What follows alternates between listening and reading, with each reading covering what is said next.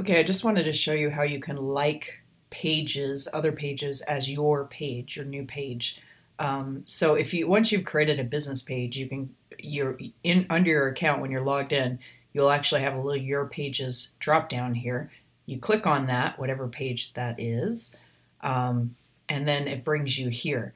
Now you are technically, as long as you see this little symbol of, of your icon, your profile picture, here under the right something, now you know that you're you're acting as your page. Um, this Gayla Ricard Piano Players and Singers. This is a brand page on uh, Facebook, a business page more or less. So now I can post things as my page. I can also like things as my page. So to do that, if you want to, let's say, find um, find a, a page to like, you want to go around and like pages that you want to kind of partner with, people that you like, people that you support um, what you do is you type in and search for that company, and then you can click on it uh, when it shows you the places. Um, I don't know why it always says this. Don't worry about this little insufficient permission notice. Just close that. Um, now, the trick and the key is you have to click on this little three dotted thing under their main image, and then you want to use this little drop down and choose like as your page. So again, like as your page.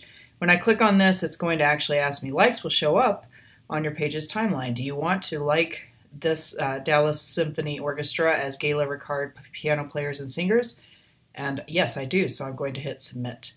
Um, so now they've been added to my favorites. I like them. They they will actually see that I liked them as well, so it's a good way to network. Um, you could also even write something on their pages um, like something like, "Oh, I loved your last uh, show last week. Um, you know, I really enjoyed the the orchestra," um, and just just to get your business there. So, and to do that, you want to do it as your business page again. So, here, once I've landed on this page, it looks like I'm back in my little personal profile.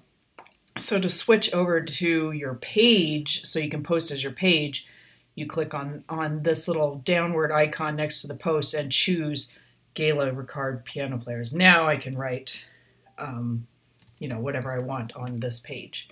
So these are things that you want to do um, to kind of go out and find all these different places that you can like um, so that uh, you can kind of engage and network with them online and they can see you and you can see them and you'll also see some of their information um, in uh, your feed. So that's a nice thing as well. So here again once again I'm finding another one. I'm going to click on this little three dotted menu to create get this drop down and then I'm going to like as my page. So that's all there is to it. Uh, let me know if you have any questions